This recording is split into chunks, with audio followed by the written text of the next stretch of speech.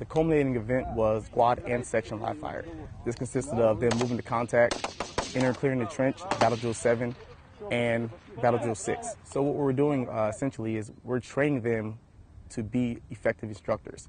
So when we leave here, the end state is, in, is for them to be self-sufficient so they can train their troops. American soldiers are more experienced at running this type of training. They refine their skills and how they observe our instructors working alone.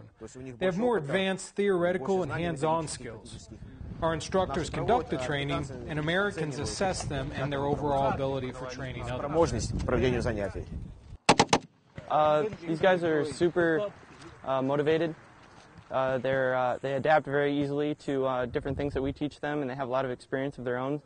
Uh, they have a lot to offer the different soldiers that they uh, have coming in, the Ukrainian soldiers, and uh, they're doing very well getting them taught. They're getting through the lane very, uh, very easily, and uh, it's going very well.